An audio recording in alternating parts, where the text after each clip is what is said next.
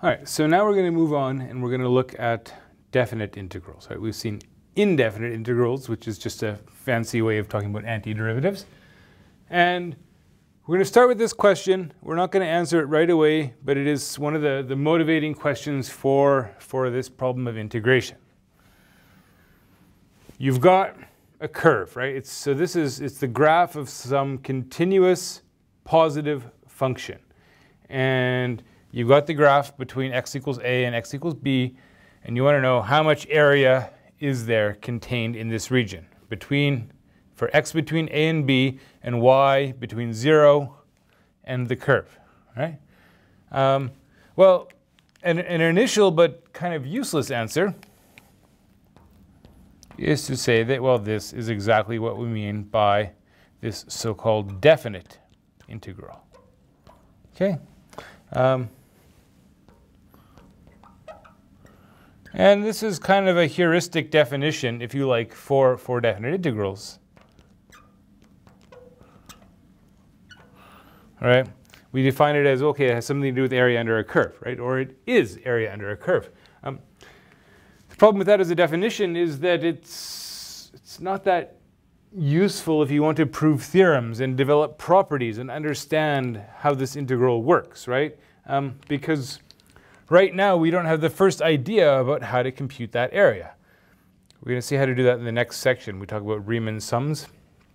We're going to go over that. We're going to see how we solve that problem. Okay, um, so that's what we're moving towards. We're moving towards this area question, right?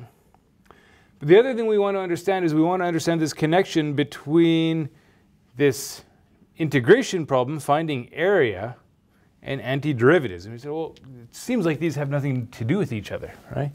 But they kind of do because we can think about velocity, right? So if you consider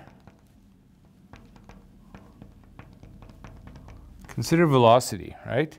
Um, on the one hand, we know that given position, say, uh, let's say we call our position maybe S of t. S is commonly used for position. Um, we know that uh, we know that the velocity as a function of time is just the derivative of the position function. Okay, so we know that, right? So given the position, we take the derivative, we get the velocity. Good. Another thing we know is that for constant velocity, let's just call it v, right? We know that position, and let me use s again, s is just that constant value times time, right? So your, your distance traveled, or maybe we should use d for displacement, but um, the distance traveled over some period of time is just your velocity times that interval of time, okay? But now if you, if you think about that graphically, what do you get? Right? So we graph position as a function of time, right? And we say, okay, well actually, sorry, let me do, not position, let me do velocity. So we've got velocity as a function of time. And we mark off that, that constant value, right? Here's our constant velocity, v, right? Um, and and maybe maybe we should say not just velocity times time, but maybe kind of a you know and you know final time minus initial time. So we mark those off too, right? So we say okay, there's a there's a t zero. That's like our a over there, by the way and our T1, right? Okay. Um, well, what does that get us? Well, this distance from here to here, if we think of it as a distance, is just T0 minus T1, right? That's what we've got. And our displacement, our distance travel, is just the product, right? The product of this width times this height. It means that our displacement is just the area. Okay? All right, interesting. So on the one hand, position is an antiderivative of velocity.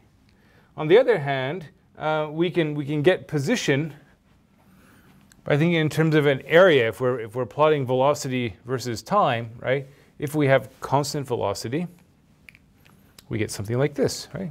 Um, we maybe go one step further with this, right? We think about, well, you know, what about what about when you have sort of constant acceleration, right? Um, what about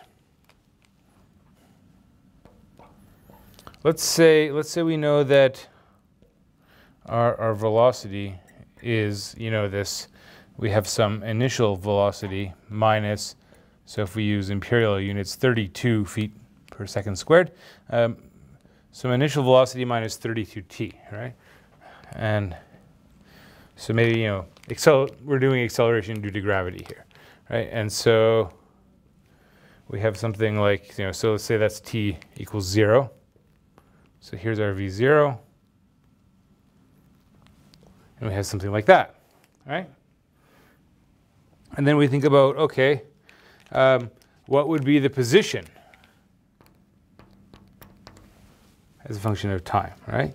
Well, the position is going to be it's going to be some initial position, right, plus v0 times t. We saw this in an earlier example uh, with antiderivatives minus 16 t squared, right? We have something like that. Okay, and you can you can play around with these, and you can think about well, yeah, what's the? Let's say I, I kind of go until some time T1 over here, right? And, and here's our T0. And we say, what's the, what's the total displacement, right? Um, so the total displacement would be, would be the S at T1 um, minus the S at T0, right? So you would have something that looked like, what would it look like? Well, S at T1 minus S at T0. Um, that initial position is going to cancel, right? That's not going to matter. So you're going to have, you're going to have minus 16 t1 squared plus 16 t0 squared plus v0 t1 minus v0 t0. You get an equation that looks something like that, right? Um, and remember that this is, what is this line, right? We can work out the equation of that line. Uh, we can work out that intercept, right? When is v of t equal to 0? v of t is going to be equal to 0 when t is equal to v0 over 32. Okay? Um, and you can start playing around and you can say, all right, what's the area, what's the area of this little triangle here, right? Um, area of this little triangle, half base times height, right? You can you start playing around with these things. Um, we have the base, we have the height, play around. Um, and you start realizing that, hey, there's some, there's some connections between these things.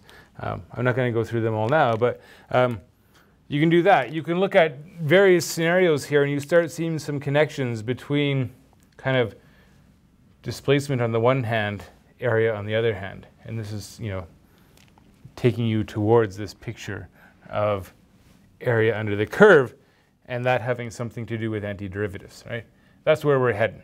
Uh, but we're going to look at a few of these velocity-related examples before we get there.